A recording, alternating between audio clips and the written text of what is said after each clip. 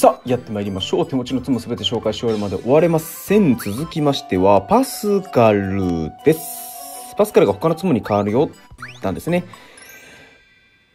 必要ツム数6個って少ないですよね。他のツムに変わるってことは、実質4種類くらいになるっていう、そういう考え方なんですかね。うん。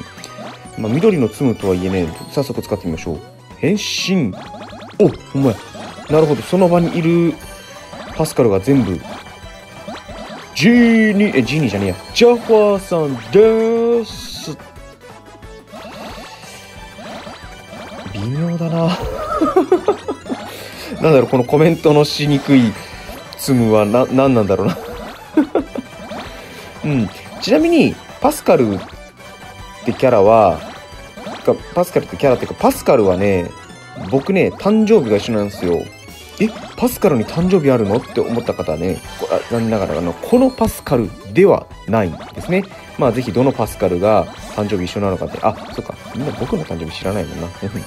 じゃあ、どうでもいいやって話だね。そもそも、ね、おめえの誕生日ねえからいやいや、誕生日あるけど、おめえの誕生日に興味ねえからって言われておしまい出すからね。うん。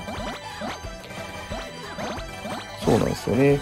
パスカルってでラプンツェルに出てくる、これは何？カメレオンなのかな？まあ、変身するってことはカメレオンかなんかなんだろうね。うんうん。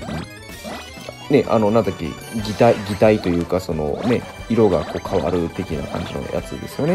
うんうんうん。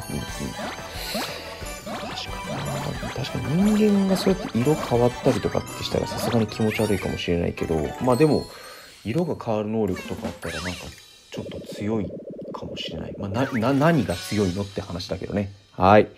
ということで、パスカルさんね、必要つむすは少ないけど、やっぱその場にいないとなかなかね、使えないかなっていうところあるんで、まあ、諸刃の剣あるけれども、スキルたくさん使うならおすすめができるかもしれないですね。ではまたお会いしましょう。バイバイ。